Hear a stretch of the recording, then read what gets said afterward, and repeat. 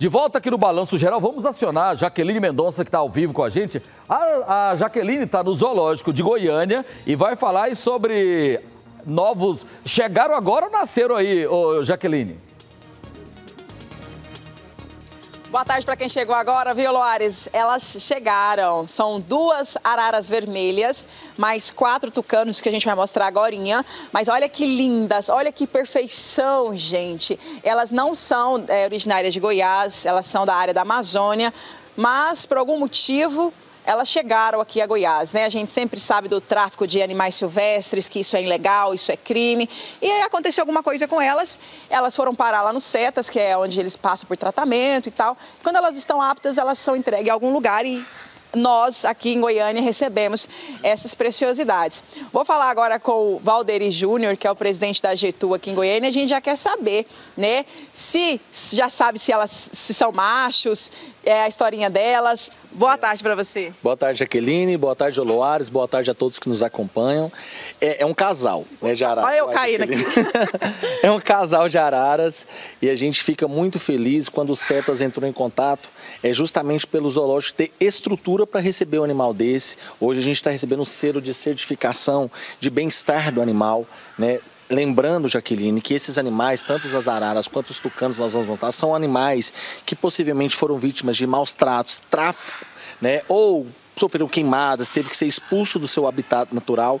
E ainda bem que tem um zoológico para fazer esse trabalho de preservação de espécie, de conservação, né? pensando no bem-estar desse animal. Tem técnicos aqui que dedicam a vida para fornecer conforto para essas aves. E né? esse casal aí é vaidoso, né? Viu que está filmando, começou a fazer algumas, alguns malabarismos lá. E a gente, eu sei que a arara azul, ela é fiel ao parceiro até que a morte separe.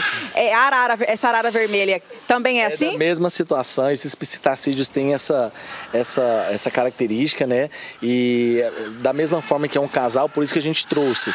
O tucano que está do lado de cá também é na mesma situação, é um grupo que vive junto também, né? Por esse motivo nós recebemos esses seis animais aqui. Agora o telespectador deve estar tá vendo, ele não vai ficar aqui. Tá, é isso que eu ia falar, porque ai, tá tão pequenininho onde elas estão, mas tem um motivo. É, tem um motivo. Isso aqui é um recinto extra, é um recinto de quarentena. Esses animais eles vão ficar aqui o um período de 40 dias. Os técnicos do zoológico vão fazer todos os exames laboratoriais para ver se está tudo bem. Para logo em breve a gente vai transferi-los para o recinto de imersão, que é um recinto apropriado, muito mais amplo.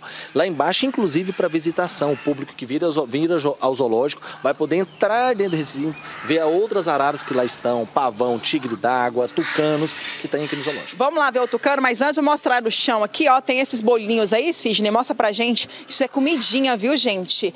É um docinho feito para essas araras. Agora vamos lá conhecer, vamos conhecer os tucanos, para vocês verem. Gente, eu tô encantada, eu nunca tinha visto tucanos, coisa mais linda do mundo mundo, gente. Eu nunca tinha visto de perto, de tão pertinho, as cores no bico. E aqui a gente vê um que tá com, tá com o bico é meio ferido. Vou deixar o Sidão entrar aqui. Isso. Vai lá, Sidão. Um tem o bico ferido, o outro tá com a pata quebrada. São animais assim que vêm da história mesmo de asa quebrada, né? Vem com, a, com, a, com histórico de, de maus tratos, né? É isso mesmo. Se o Sidney puder mostrar esse tucano aqui embaixo aqui, é, o pessoal vai ver que ele está com a asa, ele não tem asa, não tem rabo, é um animal que não voa e a gente teve que adaptar nesse momento poleiros baixos para que ele possa devagarzinho até melhorar, poder alçar pequenos voos. Né? Lá no recinto de imersão ele é justamente pensado para esses tipos de animais também. Os outros tucanos, aquele lá de cima, Sidney, ele está com fungo no bico, tá vendo? É, possivelmente foram vítimas de maus tratos, machucou, então o nosso vai cuidar desse animal. Por que, que esse animal não pode voltar para a natureza? Alguém tem que pôr comida para eles, eles não aprenderam a caçar. E aí, por esse motivo, eu, a gente tem que valorizar o trabalho de, dos biólogos, veterinários aqui do zoológico, que realmente, um animal desse aqui, alguém tem que vir à noite cuidar, dedicam a vida para cuidar desses bichos. A informação que a gente tem é que ontem eles estavam rastejando, hoje já conseguem voar. É. Vou falar, como é que é o seu nome? Estela. Ela é especialista aí da, da comidinha, né? A gente tá vendo uma forma ali, que comida é aquela, o que, que, esses, que, que esses animais podem comer? Nós, nós colocamos na dieta deles frutas, Nesse caso aí nós temos mamão, maçã, banana e norteado, é, junto a elas nós temos uma ração específica para a espécie, no caso deles tucano, e aí nós deixamos à disposição para eles, né? Lógico que a gente respeita a dieta que eles já estão acostumados, no centro, no caso, né? Vamos implementar a dieta deles, a nossa, para que não haja essa, essa, como vou falar? Essa diferença, essa, né, de mudança. Né? Justamente. Né? Pois é.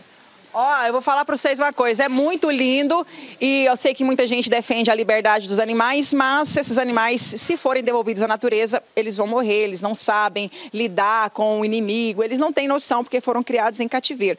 E teve uma coisa também que eu soube, que o animal em cativeiro vive até três vezes mais do que a natureza, que é o cativeiro não, né? O animal que mora num, no zoológico, por exemplo, ele vive até três vezes mais que os animais da mesma espécie na natureza, né? É isso mesmo, nós temos casos aqui por exemplo, a, a, uma tigre de bengala que nós recebemos perdemos recentemente. Ela aqui no zoológico já estava 25 anos. Lembrando que um animal desse era 15 anos de expectativa de vida, Jaqueline. Pois é, é, muito bom. Parabéns aí pelo trabalho de vocês. E são lindos, viu, Loares? Estou encantada com esses tucanos, com as araras também. É, são animais que jamais é, poderiam voltar para a natureza. Obrigado, Jaqueline.